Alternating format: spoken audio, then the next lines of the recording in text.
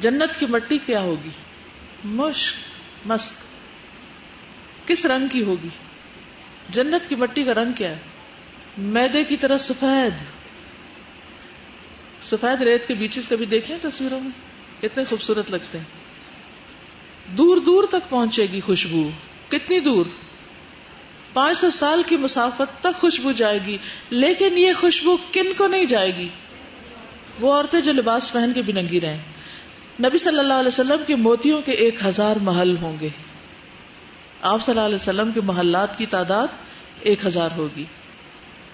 اور ان کی مٹی بھی کستوری کی۔ اور یہ اس وقت نازل ہوئی آیت ولل آخرت خیر اللہ کا من اللہ ولسوف یعطی کا ربو کا پتر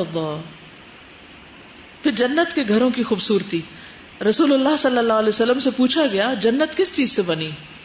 فرمایا ایک اینٹ سونے کی، ایک چاندی کی سیمٹ کستوری کا، مٹی زعفران، سنگریز موتی اور یاقوت کے۔ یعنی جو چھوٹے چھوٹے پیبلز نہیں ہوتے، مختلف جگہوں پر جو ڈالے جاتے ہیں۔ جنت کے اندر باہر سے نظر آتے شیشے کے محل۔